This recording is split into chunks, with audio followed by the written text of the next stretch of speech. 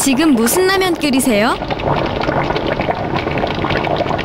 라면에 대한 새로운 생각. 담백 칼칼